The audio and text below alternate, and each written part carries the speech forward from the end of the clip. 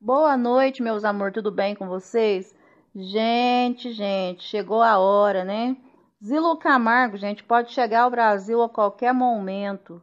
Já saiu o green card dela, ela tá super feliz. Agora sim vai poder viajar porque ela é residente nos Estados Unidos, né? Ela pode ir para onde ela quiser, né?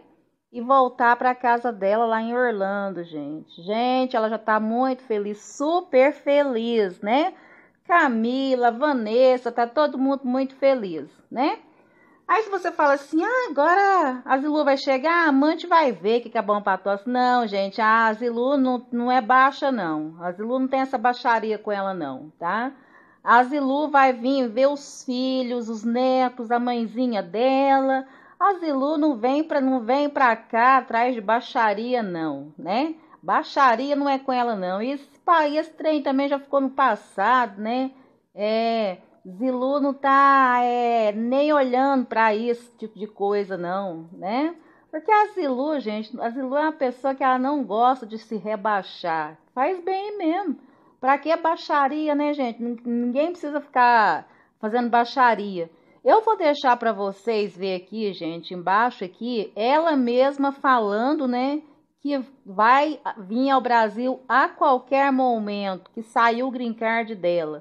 Eu vou deixar aqui embaixo para vocês agora, tá? Veja o vídeo para vocês verem.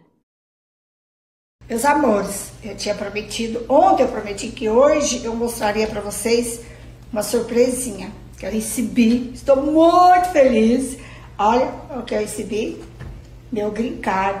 Hoje eu sou residente nos Estados Unidos, vou poder viajar para onde eu quiser. Inclusive, já estou vendo passagem para ir para o Brasil, ver minha mãezinha ver meus filhos, ver minha família, ver o meu país. Olha que coisa legal. Nossa, eu estou muito, muito feliz. Eu quero agradecer muito o escritório da Carmen Arce e, os, e o, todos os advogados que trabalham lá com ela, que eles empenharam no meu caso e já saiu. São muito competentes, né? Carmen, muito, muito obrigado de você ter acreditado e ter trabalhado com os meus documentos da imigração ser muito especial, tá? Vou anotar aqui o escritório dela. Gente, ela é uma advogada muito especial.